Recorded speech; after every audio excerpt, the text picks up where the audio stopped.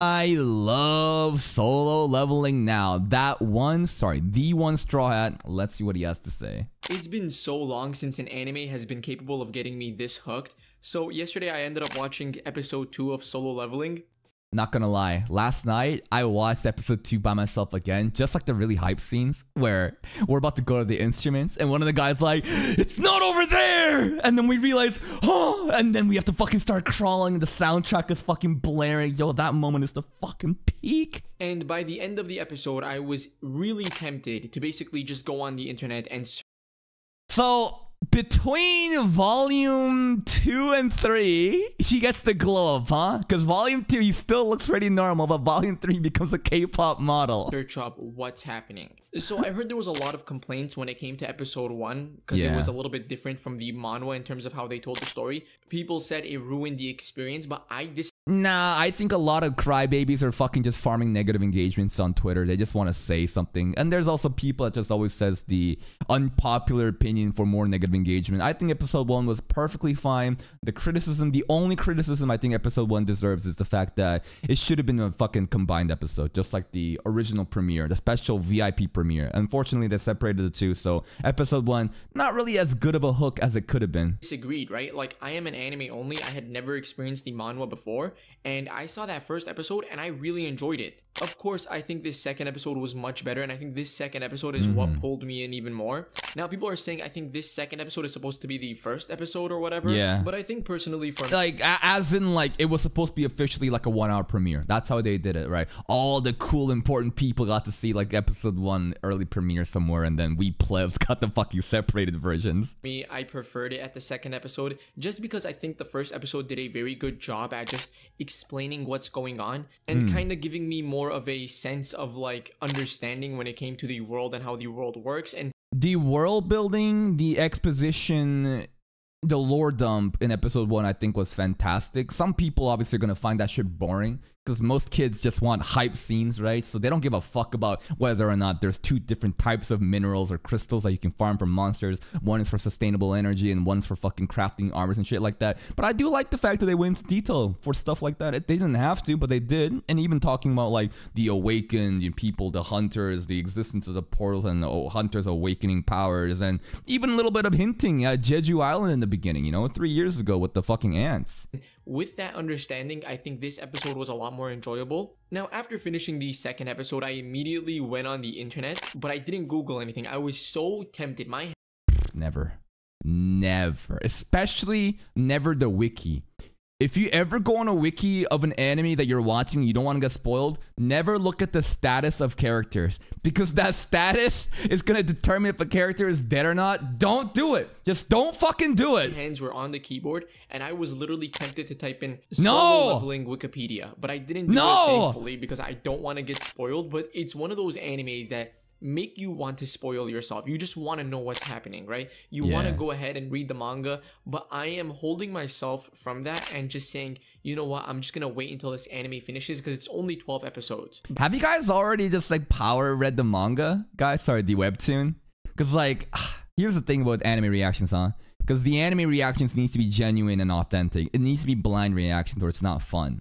I can't fucking read webtoons, mangas, light. Well, I can for previously covered content. So maybe we could even read a solo leveling webtoon on stream too. I'm not really sure, but you're on your 101st chapter. No, but you wanted to. I feel like um, I don't know.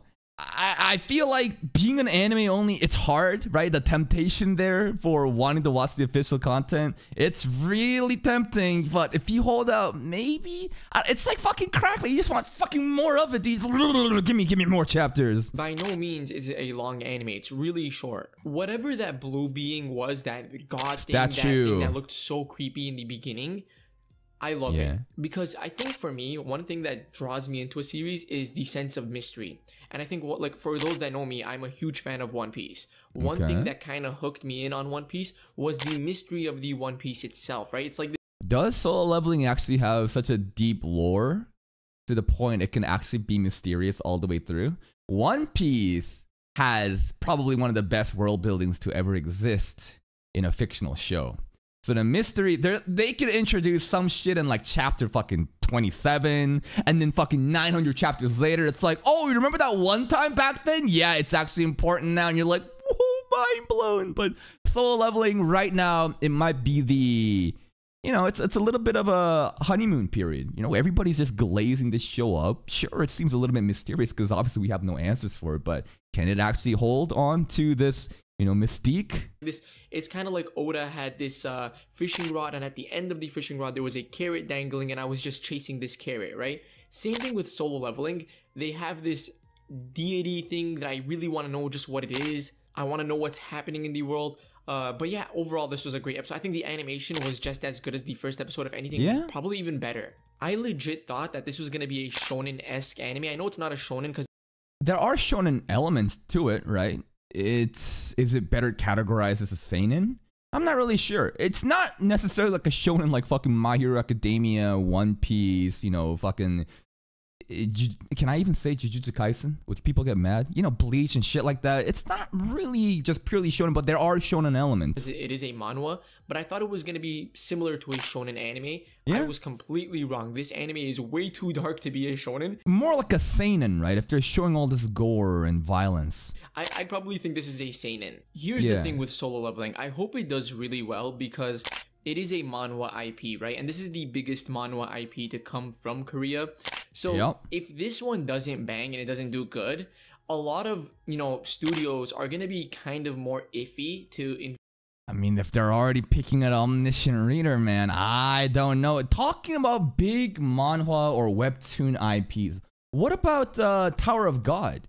Because Tower of God is also like it's a super long-running webtoon series back in Korea, and it already had an anime in season one a long time ago. It's already gotten confirmed for season two, right? A lot of people, I think, had complaints about season one about how like because of the nature of the story is such a slow burn in the beginning season one was kind of a snooze fest even though people are hyping the shit about it so a lot of people coming into the show kind of felt a disconnect on the hype that the uh, the readers of the webtoon were saying because they're like hundreds of chapters in saying oh trust me bro just get to chapter 367 it gets really good there but season one's not even scratching that so i think a lot of people are complaining about that but despite that it's still greenlit for season two right and, you know, solo leveling came over. I'm sure it's going to do fantastic. Even if it doesn't, the name is so big, it'll cause drama. I feel like people are still interested. And look, and moving forward, I think the meta, right? So this is what happened with me when consuming manga or anime. I started with just the big three, right? One Piece, Naruto, Bleach,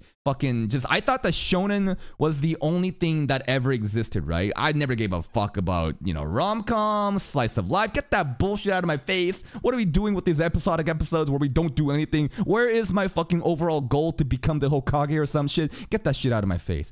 But then after you farm enough, you read over and over of the same shonen shit, you kind of run out of things, you know, to enjoy because you've just drained it. And then you kind of discover like seinen and maybe isekai, and you branch out there. But then you realize that your content's drying up. And then webtoons arise, bro. Webtoons came out of fucking nowhere. It's like, oh shit, we got a bunch of webtoons to do. There's even like a Chinese uh, manhwa. So there's Korean manhwa, which is more known as like webtoon. But then I think there's also Chinese manhwa, not with the HWA, but with the HUA. There's also very fun series like that too, right? So as I start to consume more and more, right, I start to tap into different mediums of anime like content, like webtoons. So I think even now in the anime industry, they're starting to realize that shit, guys. There's a fucking gold mine of content through Korean webtoons. Why don't we just fucking adapt them? And you see this shit happening in like Netflix specials too, right? They're not just covering Western show, they're just branching out to Korean media a lot. So I see the fucking meta shifting, man. invest in manhwa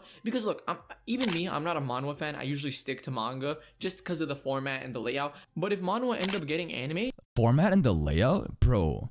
If he actually gave webtoons a try, I bet he would like the format and the layout of webtoons better. One of the most compelling and um, enjoyable things about reading manhwa or webtoons is the format. Everything is colored. It's just an infinite scroll. In manga, you're supposed to fucking read left to right with bubbles popping up nowhere. The art is sometimes so fucking congested, you don't even know what the fuck is going on. Webtoon, just fucking free scroll, baby. So easy to consume. The experience is so nice. I think you would enjoy that. I'm down for it. You know, I'm here to watch. There's a couple of reasons I don't read manhwa. It's just it's such a different format for me that I'm not used to. Number two, What? Fucking scrolling down and fucking reading the fully colored art? What do you mean? I've also kind of cut down on reading manga as well. I've just been sticking to more anime because I, I do think I prefer anime over manga. I used to be the other way around, which is funny because when I was a kid, I was anime over manga, and then I became manga over anime, and I have no choice but to be only anime. I can't consume manga anymore unless it's content we've already seen. Such is the curse of being a reaction channel. I'm back to being anime over manga again. Like I prefer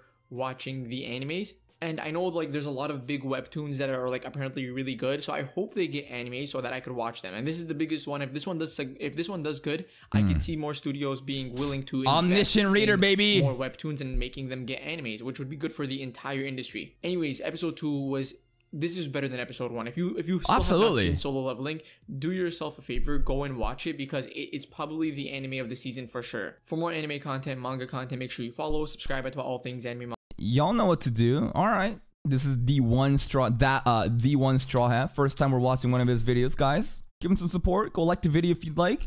Yeah, I think that solo leveling episode two again, it's completely better than episode one because I think it just has to be right. That that's where all the good meaty shit is. Did it deliver? I think it did. All the complaints, all the criticisms, I think it's just a bunch of fucking yappers. Now, future episodes. There might be a little weak episodes where people are gonna start yapping again, saying this shit's trash. But hey, let it cook, right? Let it cook. Give it a full season, then we can talk about it.